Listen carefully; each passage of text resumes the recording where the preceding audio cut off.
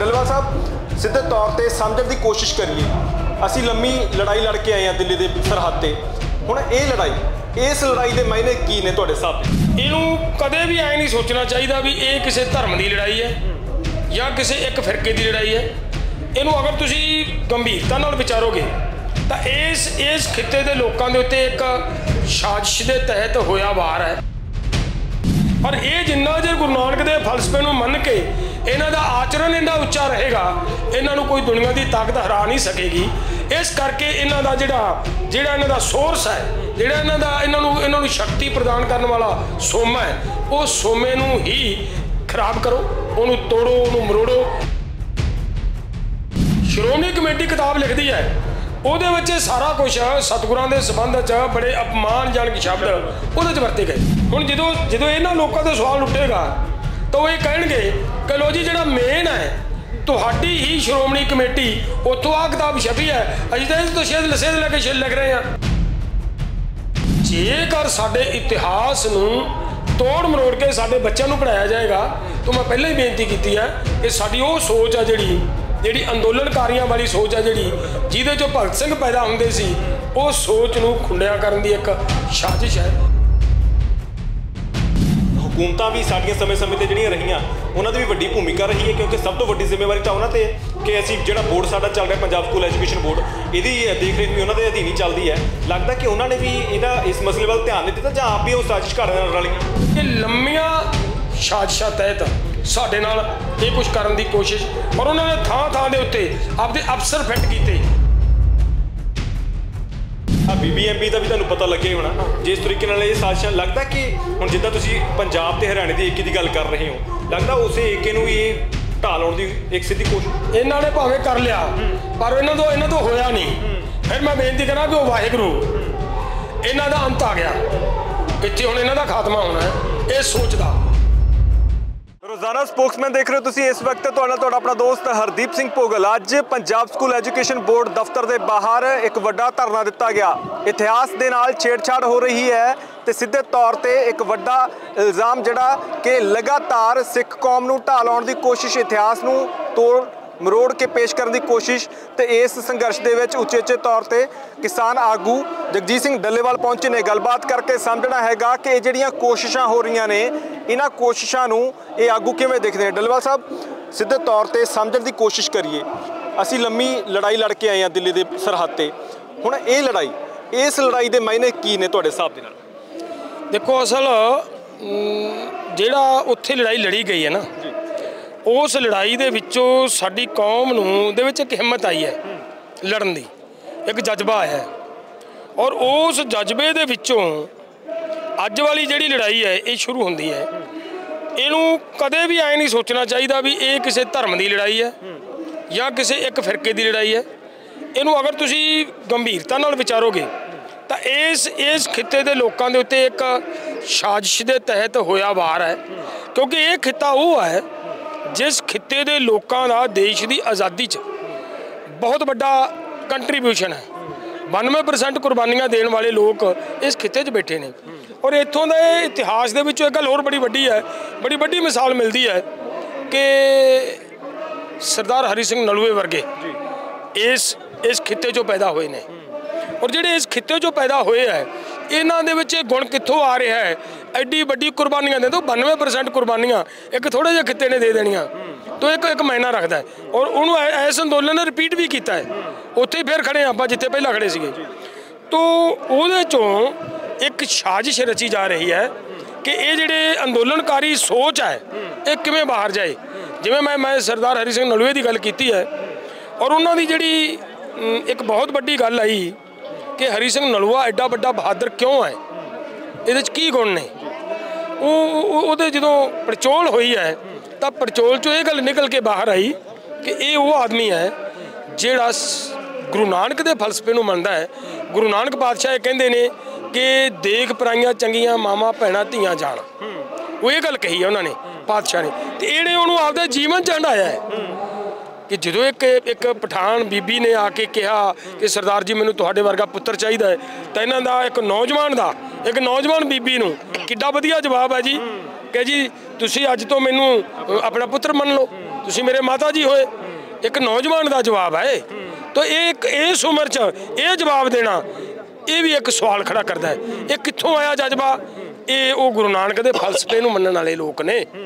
ਔਰ ਇਹ ਜਿੰਨਾ ਚਿਰ ਗੁਰੂ ਨਾਨਕ ਦੇ ਫਲਸਫੇ ਨੂੰ ਮੰਨ ਕੇ ਇਹਨਾਂ ਦਾ ਆਚਰਣ ਇੰਨਾ ਉੱਚਾ ਰਹੇਗਾ, ਇਹਨਾਂ ਨੂੰ ਕੋਈ ਦੁਨੀਆ ਦੀ ਤਾਕਤ ਹਰਾ ਨਹੀਂ ਸਕੇਗੀ। ਇਸ ਕਰਕੇ ਇਹਨਾਂ ਦਾ ਜਿਹੜਾ ਜਿਹੜਾ ਇਹਨਾਂ ਦਾ ਸੋਰਸ ਹੈ, ਜਿਹੜਾ ਇਹਨਾਂ ਦਾ, ਇਹਨਾਂ ਨੂੰ ਇਹਨਾਂ ਨੂੰ ਸ਼ਕਤੀ ਪ੍ਰਦਾਨ ਕਰਨ ਵਾਲਾ ਸੋਮਾ ਹੈ, ਉਹ ਸੋਮੇ ਨੂੰ ਹੀ ਖਰਾਬ ਕਰੋ, ਉਹਨੂੰ ਤੋੜੋ, ਉਹਨੂੰ ਮਰੋੜੋ, ਉਹਨੂੰ ਉਹਨੂੰ ਉਹਨੂੰ ਐਸਾ ਬਣਾ ਦਿਓ ਕਿ ਲੋਕ ਉਹਨੂੰ ਆਪਣਾ ਮੰਨਣੋਂ ਹਟ ਜਾਣ। ਦਿਲਬਰ ਸਾਹਿਬ, ਕਿਉਂਕਿ ਲੰਮਾ ਸਮਾਂ ਹੋ ਗਿਆ। ਇਹ ਅੱਜ ਦੀਆਂ ਕੋਸ਼ਿਸ਼ਾਂ ਨਹੀਂ, ਲੰਮੇ ਸਮੇਂ ਤੋਂ ਕੁਝ ਲੋਕ ਜਿਹੜੇ ਨੇ, ਅਸੀਂ ਬਲਦੇਵ ਸਿਰਸਾ ਹੋਰਾਂ ਦੀ ਗੱਲ ਕਰ ਰਹੀ ਲੰਮੇ ਸਮੇਂ ਤੋਂ ਮੁੱਦਾ ਉਠਾਉਂਦੇ ਆ ਰਹੇ ਨੇ। ਕਾਰਨ ਕੀ ਲੱਗਦੇ ਨੇ? ਤੁਸੀਂ ਹੁਣ ਦੱਸਣ ਦੀ ਕੋਸ਼ਿਸ਼ ਕੀਤੀ ਕਿ ਸੋਰਸ ਨੂੰ ਖਤਮ ਕਰਨ ਦੀ ਗੱਲ ਕਰ ਰਹੇ ਆ, ਪਰ ਤੁਹਾਨੂੰ ਲੱਗਦਾ ਕਿ ਹਕੂਮਤਾਂ ਵੀ ਸਾਡੀਆਂ ਸਮੇਂ-ਸਮੇਂ ਤੇ ਜਿਹੜੀਆਂ ਰਹੀਆਂ, ਉਹਨਾਂ ਦੀ ਵੀ ਵੱਡੀ ਭੂਮਿਕਾ ਰਹੀ ਹੈ? ਕਿਉਂਕਿ ਸਭ ਤੋਂ ਵੱਡੀ ਜ਼ਿੰਮੇਵਾਰੀ ਤਾਂ ਉਹਨਾਂ ਤੇ ਹੈ ਕਿ ਅਸੀਂ ਜਿਹੜਾ ਬੋਰਡ ਸਾਡਾ ਚੱਲ ਰਿਹਾ ਪੰਜਾਬ ਸਕੂਲ ਐਜੂਕੇਸ਼ਨ ਬੋਰਡ ਇਹਦੀ ਦੇਖ ਰੇਖ ਵੀ ਉਹਨਾਂ ਦੇ ਅਧੀਨ ਹੀ ਚੱਲਦੀ ਹੈ। ਲੱਗਦਾ ਕਿ ਉਹਨਾਂ ਨੇ ਵੀ ਇਹਦਾ, ਇਸ ਮਸਲੇ ਵੱਲ ਧਿਆਨ ਨਹੀਂ ਦਿੱਤਾ ਜਾਂ ਆਪ ਵੀ ਉਹ ਸਾਜ਼ਿਸ਼ ਘਾੜੇ ਨਾਲ ਰਲੀਆਂ? ਨਹੀਂ, ਦੇਖੋ, ਜਿਹੜੀ ਸਾਜ਼ਿਸ਼ ਹੈ ਨਾ ਜੀ, ਜਦੋਂ ਕੋਈ ਸਾਜ਼ਿਸ਼ ਰਚਦਾ ਹੈ ਨਾ ਉਦੋਂ ਮੈਂ ਹੁਣੇ ਸਟੇਜ ਤੋਂ ਇੱਕ ਗੱਲ ਕਹਿ ਕੇ ਆਇਆ ਹਾਂ ਕਿ ਇੱਕ ਸ਼ਾਰਦਾ ਜਮਨਾ ਲਿੰਕ ਚੈਨਲ ਤੇ ਕੰਮ ਚੱਲਦਾ ਰਿਹਾ। ਉਹ ਕਾਫੀ ਕੰਮ ਹੋਇਆ ਉਹਦੇ ਤੇ। ਔਰ ਇਹਨਾਂ ਨੇ ਉਹਨੂੰ ਬੰਦ ਕਰਾ ਕੇ ਤੇ ਸਤਲੁਜ ਜਮਨਾ ਲਿੰਕ ਚੈਨਲ ਤੇ ਕੰਮ ਸ਼ੁਰੂ ਕਰਾਇਆ। ਕਿਉਂ ਕਰਾਇਆ ਭਲਾ? ਇਹ ਇਸ ਕਰਕੇ ਕਰਾਇਆ ਸੀ ਕਿ ਪੰਜਾਬ ਤੇ ਹਰਿਆਣਾ, ਇਹ ਉਹ ਇਹ ਖਿੱਤਾ ਉਹ ਹੈ ਜਿਹੜਾ ਲੜਾਕਾ ਹੈ। ਅਗਰ ਆਪਸ ਵਿੱਚ ਹੀ ਭਿੜਦੇ ਰਹਿਣ, ਤਾਂ ਇਹਨਾਂ ਦੀ ਕਦੇ ਆਪਸ ਵਿੱਚ ਏਕਤਾ ਨਹੀਂ ਬਣੇਗੀ। ਔਰ ਇਹਨਾਂ ਦੀ ਆਪਸੀ ਲੜਾਈ ਦਾ ਅਸੀਂ ਜਿੰਨਾ ਮਰਜ਼ੀ ਫਾਇਦਾ ਉਠਾ ਸਕਦੇ ਹਾਂ। ਇਸ ਗੱਲ ਦੀ ਸਾਜ਼ਿਸ਼ ਦੇ ਵਿੱਚੋਂ ਸੀ ਇਹ ਸਾਰਾ ਕੰਮ। ਤੋਂ ਮੇਰਾ ਕਹਿਣ ਦਾ ਭਾਵ ਹੈ ਕਿ ਲੰਮੀਆਂ ਸਾਜ਼ਿਸ਼ਾਂ ਤਹਿਤ ਸਾਡੇ ਨਾਲ ਇਹ ਕੁਝ ਕਰਨ ਦੀ ਕੋਸ਼ਿਸ਼ ਔਰ ਉਹਨਾਂ ਨੇ ਥਾਂ ਥਾਂ ਦੇ ਉੱਤੇ ਆਪਦੇ ਅਫਸਰ ਫਿੱਟ ਕੀਤੇ। ਮੈਂ ਅਫਸਰ ਫਿੱਟ ਕੀਤੇ ਸ਼ਬਦ ਇਸ ਵਾਸਤੇ ਕਹਿ ਰਿਹਾ, ਨੋਟ ਕਰਿਓ ਜੇ ਗੱਲ ਨੂੰ। ਜਿਸ ਵੇਲੇ 1994 ਦੇ ਵਿੱਚ ਆ ਕੇ ਗੈਟ ਤੇ ਸਮਝੌਤਾ ਹੁੰਦਾ ਹੈ ਉਸ ਤੋਂ ਪਹਿਲਾਂ, ਉਸ ਤੋਂ ਪਹਿਲਾਂ ਜਦੋਂ ਗੈਟ ਦਾ ਖਰੜਾ 86 ਚ ਭਾਰਤ ਸਰਕਾਰ ਕੋਲੇ ਆਉਂਦਾ ਹੈ, ਉਸ ਵੇਲੇ ਸਾਡਾ ਐਸਪੀ ਸ਼ੁਕਲਾ, ਉਸ ਵੇਲੇ ਦਾ ਫਾਈਨਾਂਸ ਸੈਕਟਰੀ ਹੈ। ਉਹ ਜਵਾਬ ਦਿੰਦਾ ਵੀ ਮੈਂ ਇਹ ਤੇ ਨਹੀਂ, ਇਹਦੇ ਨਾਲ ਮੈਂ ਐਗਰੀ ਨਹੀਂ ਆ ਅਸੀਂ ਇਹ ਤੇ ਸਾਈਨ ਨਹੀਂ ਕਰਨੇ। ਔਰ ਉਸ ਬੰਦੇ ਨੂੰ ਫਿਰ ਇੱਕ ਚਿੱਠੀ ਆਉਂਦੀ ਹੈ 1999 ਚ ਵਰਲਡ ਬੈਂਕ ਤੋਂ ਭਾਰਤ ਸਰਕਾਰ ਨੂੰ। ਕਹੇ ਜੀ ਐਸਪੀ ਸ਼ੁਕਲਾ ਨੂੰ ਹਟਾਓ ਤੇ ਇਹਦੀ ਥਾਂ ਤੇ ਅਨਮਰ ਲੋਡਾ ਲਾਓ। ਹੁਣ ਸਮਝ ਗਏ ਗੱਲ? ਯਾਨੀ ਜਿਹੜੇ ਉਹਨਾਂ ਨੂੰ ਚਾਹੀਦੇ ਆ ਉਹ ਅਫਸਰ ਇੱਥੇ ਲਾਏ ਜਾ ਰਹੇ ਨੇ।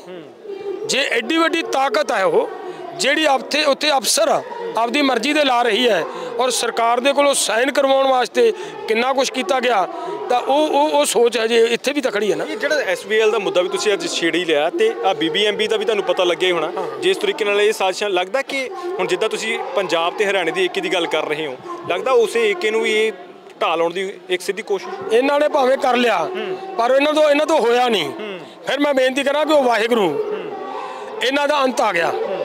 ਇੱਥੇ ਹੁਣ ਇਹਨਾਂ ਦਾ ਖਾਤਮਾ ਹੋਣਾ ਹੈ ਇਹ ਸੋਚਦਾ ਇਹਦੇ 'ਚ ਇਹ ਕਰਤਾ ਇਹਨਾਂ ਨੇ ਕੱਲਾ ਪੰਜਾਬ ਦਾ ਨਹੀਂ ਹਿੱਸੇਦਾਰੀ ਖਤਮ ਕੀਤੀ ਹਰਿਆਣੇ ਦੀ ਵੀ ਹਿੱਸੇਦਾਰੀ ਖਤਮ ਕਰਤੀ। ਦੋਨਾਂ ਦੀ ਹਿੱਸੇਦਾਰੀ ਖਤਮ ਕਰਤੀ। ਹੁਣ ਲੜਾਈ ਜਿਵੇਂ ਪੰਜਾਬ ਤੇ ਹਰਿਆਣਾ ਪਹਿਲਾਂ ਲੜਿਆ ਹੈ, ਉਵੇਂ ਫੇਰ ਲੜਾਂਗੇ। ਇਕੱਠੇ ਹੋ ਕੇ ਲੜਾਂਗੇ। ਇਹ ਇਹ ਸਾਨੂੰ ਪਾੜਨ ਦੇ ਵਿੱਚ ਯਤਨ ਤਾਂ ਕਰਦੇ ਨੇ ਲੇਕਿਨ ਵਾਹਿਗੁਰੂ ਸਾਨੂੰ ਇਕੱਠੇ ਕਰ ਦਿੰਦਾ ਹੈ। ਇਸ ਕਰਕੇ ਇਕੱਠੇ ਹੋ ਕੇ ਲੜਾਂਗੇ। ਔਰ ਉਸੇ ਤਰ੍ਹਾਂ ਜਿਵੇਂ ਪਹਿਲਾਂ ਅਸੀਂ ਤਿੰਨ ਕਾਲੇ ਕਾਨੂੰਨ ਰੱਦ ਕਰਵਾਏ ਹੈ ਉਸੇ ਤਰ੍ਹਾਂ ਵੀ ਰੱਦ ਕਰਵਾਵਾਂਗੇ। ਡੱਲੇਵਾਲ ਸਾਹਿਬ ਜਿਹੜੀ ਇਹ ਕਿਤਾਬਾਂ ਦੇ ਵਿੱਚ ਛੇੜਛਾੜ ਨੂੰ ਲੈ ਕੇ ਇੱਕ ਤਾਂ ਸਿਰਫ ਇਤਿਹਾਸ ਦੇ ਨਾਲ ਛੇੜਛਾੜ ਛੇੜਛਾੜ ਹੋ ਰਹੀ ਹੈ ਤੇ ਨਾਲ ਨਾਲ ਲਿਪੀ ਦੇ ਨਾਲ ਵੀ ਛੇੜਛਾੜ ਹੋ ਰਹੀ ਹੈ। ਭਾਸ਼ਾ ਭਾਸ਼ਾ ਪੜ੍ਹਨੀ ਕਿਵੇਂ ਆ ਬੋਲਣੀ ਕਿਵੇਂ ਆ ਉਹਦੇ ਵਿੱਚ ਵੀ ਵੱਡੇ ਹੇਰਫੇਰ ਹੋ ਰਹੇ ਨੇ। ਲੱਗਦਾ ਕਿ ਧੁਰਾ ਹਿਲਾਉਣ ਦੀ ਕੋਸ਼ਿਸ਼ ਸਿੱਧੇ ਤੌਰ ਤੇ ਹੋ ਰਹੀ ਹੈ ਲੰਮੇ ਸਮੇਂ ਤੋਂ। ਤਾਂ ਇਹ ਤਾਂ ਇਹ ਤਾਂ ਸਪਸ਼ਟ ਹੈ ਜੀ। ਮੈਂ ਮਤਲਬ ਦੇਖੋ ਤੁਰਾ ਹਿਲਾਉਣ ਦੀ ਕੋਸ਼ਿਸ਼ ਤੇ ਤੁਸੀਂ ਇਹਨੂੰ ਹੋਰ ਲਾਓ ਧੁਰੇ ਤੇ ਚੱਲਦੇ ਆਪਾਂ। ਦੇਖੋ, ਕੋਈ ਲਿਖਾਰੀ ਲਿਖਦਾ ਹੈ, ਉਹਦੇ ਤੇ ਸਵਾਲ ਉੱਠ ਕਰਦਾ ਹੈ। ਇੱਥੇ ਹੁਣ ਜੇ ਇਹਨੂੰ ਤੁਸੀਂ ਇਹਨੂੰ ਪਿਛਾਂ ਨੂੰ ਲੈ ਕੇ ਜਾਓਗੇ, ਤਾਂ ਸਵਾਲ ਸ਼੍ਰੋਮਣੀ ਕਮੇਟੀ ਤੇ ਖੜਾ ਹੈ। ਸ਼੍ਰੋਮਣੀ ਕਮੇਟੀ ਕਿਤਾਬ ਲਿਖਦੀ ਹੈ। ਉਹਦੇ ਵਿੱਚ ਇਹ ਸਾਰਾ ਕੁਝ ਸਤਿਗੁਰਾਂ ਦੇ ਸੰਬੰਧ 'ਚ ਬੜੇ ਅਪਮਾਨਜਨਕ ਸ਼ਬਦ ਉਹਦੇ 'ਚ ਵਰਤੇ ਗਏ। ਹੁਣ ਉਹਦੀ ਸਾਰਾ ਤੋਂ ਅਸੀਂ ਆਪਣੇ ਆਪ ਨੂੰ ਇਹ ਮੰਨਦੇ ਆ ਸਾਡੀ ਸਾਡੀ ਸਮਝ ਮੁਤਾਬਕ ਕਿ ਵਿਦੰਤੀ ਜੀ ਚੰਗੇ ਸਮਝਦਾਰ ਤੇ ਗਿਆਨਵਾਨ ਬੰਦੇ ਸੀ। ਔਰ ਉਹਨਾਂ ਨੂੰ ਅ, ਬਣਾਤਾ ਅਕਾਲ ਤਖਤ ਸਾਹਿਬ ਦੇ ਜਥੇਦਾਰ। ਔਰ ਉਹਨਾਂ ਦੀ ਰਹਿਨਮਾਈ ਹੇਠੋਂ ਕਿਤਾਬ ਲਿਖੀ ਜੀ ਲਿਖੀ ਜਾ ਰਹੀ ਹੈ ਛਪ ਰਹੀ ਹੈ। ਤਾਂ ਕਿੱਡੀ ਮਾੜੀ ਗੱਲ ਹੈ। ਹੁਣ ਧੁਰੇ ਤੇ ਗੱਲ ਆ ਗਈ ਨਾ। ਹੁਣ ਜਦੋਂ ਜਦੋਂ ਇਹਨਾਂ ਲੋਕਾਂ ਤੇ ਸਵਾਲ ਉੱਠੇਗਾ ਤਾਂ ਉਹ ਇਹ ਕਹਿਣਗੇ ਕਿ ਲੋ ਜੀ ਜਿਹੜਾ ਮੇਨ ਹੈ ਤੁਹਾਡੀ ਹੀ ਸ਼੍ਰੋਮਣੀ ਕਮੇਟੀ ਉੱਥੋਂ ਆ ਕਿਤਾਬ ਛਪੀ ਹੈ। ਅਸੀਂ ਤਾਂ ਇਹਦੇ ਤੋਂ ਸ਼ੇਦ ਲਸੇਦ ਲੈ ਕੇ ਛਿਲ ਲਿਖ ਰਹੇ ਹਾਂ। ਤੋ ਇਹ ਕਹਿਣ ਦਾ ਭਾਵ ਕੋਈ ਗੱਲ ਨਹੀਂ ਵਾਹਿਗੁਰੂ ਕਿਰਪਾ ਕਰੇ।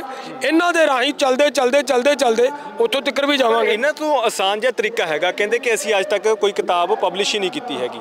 ਇਹਨਾਂ ਨੇ ਇੱਕੋ ਹੀ ਕਿਤਾਬ ਛੋਟੀ ਜੀ ਪਬਲਿਸ਼ ਕੀਤੀ ਹੈ ਬਾਕੀ ਸਾਰੀਆਂ ਰਿਕਮੈਂਡਡ ਕਿਤਾਬਾਂ ਨੇ ਵੀ ਤੁਸੀਂ ਇਹਨਾਂ ਤੋਂ ਚੀਜ਼ਾਂ ਪੜ੍ਹ ਸਕਦੇ ਹੋ ਇਹ ਇਤਿਹਾਸ ਇੱਥੋਂ ਪੜ੍ਹ ਸਕਦੇ ਹੋ। ਲੱਗਦਾ ਕਿ ਬੜਾ ਆਸਾਨ ਜਿਹਾ ਤਰੀਕਾ ਲੱਭ ਲੈਂਦੇ ਨੇ ਕਿ ਅਸੀਂ ਕਿੱਦਾਂ ਬਚਣਾ ਹੈ। ਦੇਖੋ ਇਹ ਇਹ ਕੁਝ ਵੀ ਕਰਨ।